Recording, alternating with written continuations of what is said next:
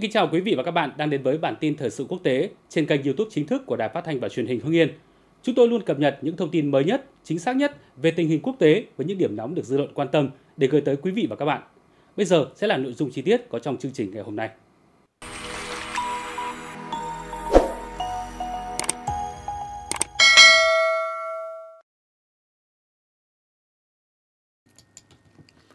Ukraine thọc sâu ở quốc, sự đáp trả mạnh mẽ với Nga. Nga chủ yếu phản công ở phía tây của vùng quốc, trong khi Ukraine mở mũi tấn công mới khoét sâu vào Gluskova nhằm thu hút đối phương để giảm áp lực cho hướng tấn công chính. Giao tranh ác liệt đang diễn ra dọc theo toàn bộ chiến tuyến từ Ulanda, từ Volodya ở miền đông Ukraine đến khu vực Khước trên lãnh thổ Nga. Một chi tiết quan trọng và nổi bật nhất trong tuần qua là việc lực lượng Kiev đang rút lui khắp mọi nơi. Mặt trận quốc đang ngày càng trở nên năng động hơn. Các cuộc phản công của quân đội Nga, gọi tắt là RFAF, chủ yếu diễn ra ở vùng phía tây của vùng quốc. Tuy nhiên, phía Bắc và phía Đông, giao tranh cũng vô cùng quyết liệt. Lực lượng Kiev tiếp tục khoét sâu vào Gruskova nhằm mở một mũi tấn công mới để thu hút đối phương, giảm áp lực cho hướng tấn công chính. Tại Kupian, hoạt động vẫn diễn ra mạnh mẽ, đặc biệt là xung quanh Sinkivka và Pichan. Tại ngôi làng Makivka, quân đội Nga đã đột phá được một bước nhỏ dọc theo các cánh đồng ở phía Bắc. Trên hướng Poprovka, các hoạt động đã ít hơn trước trong những ngày gần đây.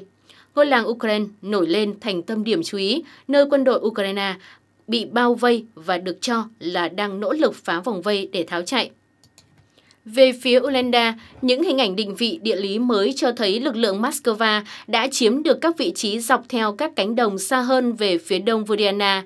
Tại đây, thiết bị kỹ thuật của Nga đang sơ tán các xe tăng và xe bọc thép chở quân bị phá hủy hoặc hư hỏng. Nga kiểm soát nhiều khu định cư tại Kurakoki và Torres. Kênh Redova cho biết lực lượng Moscow đang phản công mạnh trên khu vực biên giới Kursk và đẩy lùi các mũi xung kích của đối phương tại khu vực Kloskova.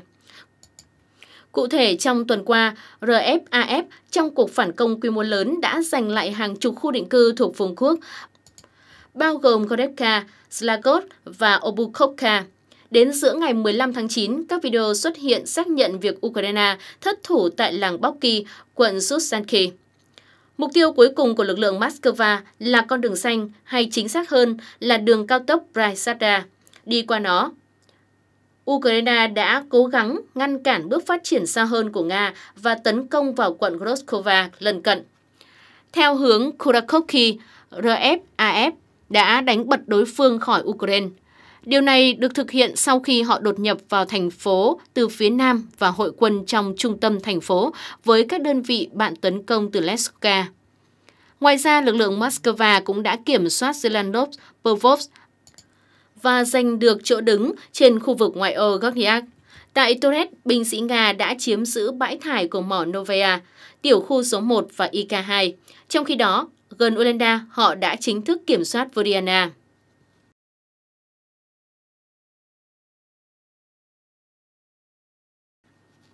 Ukraine mất vị trí ở Kalinovo và Klechivka. Theo kênh Reiber, tại khu Bakhmut, lực lượng Moscow đang thọc sâu vào phòng ngự của đối phương trên nhiều khu vực cùng lúc. Các đơn vị của Nga đã tìm cách mở rộng vùng kiểm soát cả khu vực Grigorovka lẫn phía bắc và phía tây của Klechivka. Quân đội Nga đã đánh bật lực lượng Kiev ra khỏi một số vị trí của phía bắc Zenets Ronoromi.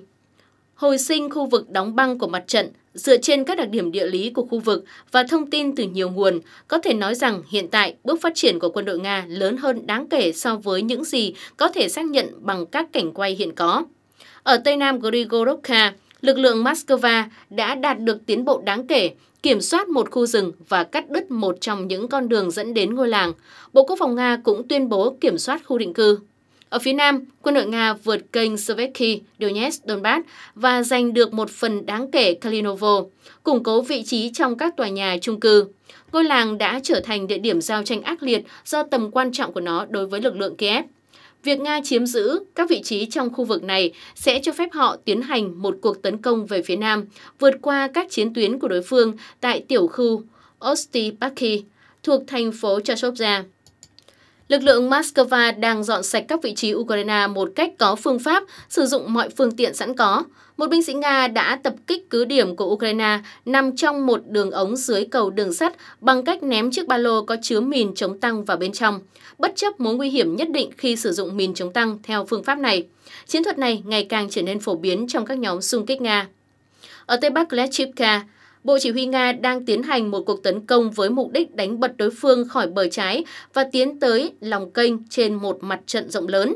Trong một loạt trận chiến, quân đội Nga đã đánh bật đội hình Ukraine ra khỏi một số vành đai rừng. Bây giờ họ phải đối mặt với nhiệm vụ tấn công các vị trí của Ukraine trong khu rừng phía Tây, kiểm soát những vị trí cần thiết để vượt kênh ở một số nơi. Lực lượng Moscow thường xuyên tấn công cơ sở hạ tầng quân sự phía sau phòng tuyến của đối phương. Hôm 14 tháng 9, thì không quân Nga đã tập kích một kho vận chuyển ở Konstantinovka. Theo một số thông tin, cơ sở này được sử dụng làm căn cứ sửa chữa và lưu trữ các thiết bị của Ukraine.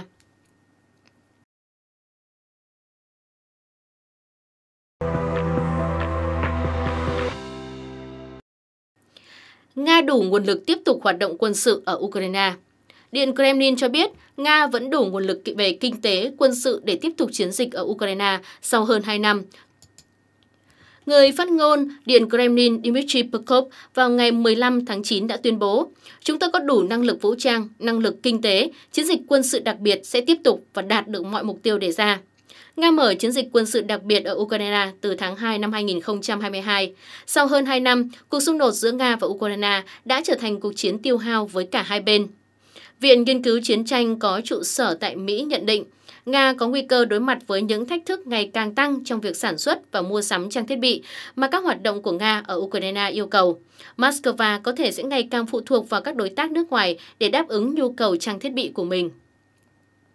Nga được cho là đặt mục tiêu đạt được chiến thắng quyết định ở Ukraine vào năm 2026 trước khi những hạn chế về kinh tế và lực lượng trong chung và dài hạn bắt đầu làm suy giảm đáng kể khả năng của Nga trong việc duy trì nỗ lực cho cuộc chiến ở Ukraine. Trong khi đó, Tổng thống Ukraine Volodymyr Zelensky chỉ trích phương Tây chậm bàn giao vũ khí khiến cho nước này chịu tổn thất lớn trước các cuộc tấn công của Nga. Trả lời phỏng vấn vào ngày 15 tháng 9, ông cho biết tình hình ở miền đông Ukraine rất khó khăn, một nửa số lữ đoàn của họ ở mặt trận này không được trang bị vũ khí. Tổn thất về nhân lực rất lớn, chúng tôi mất người vì họ không có xe thiết giáp, không có đạn pháo.